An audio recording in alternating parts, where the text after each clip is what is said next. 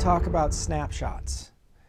The console basically has unlimited snapshot capability, meaning that it takes a picture of every object, the faders, the pans, the EQs, the patches, the labeling, everything.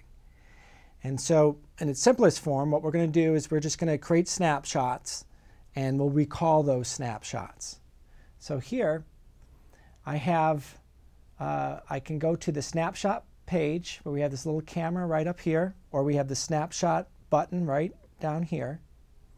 Brings us to uh, the snapshot window. And I can quickly just say, I want to make a snapshot. And it just took a picture of the entire desk, everything, okay? Faders, mutes, pans, labels, patching.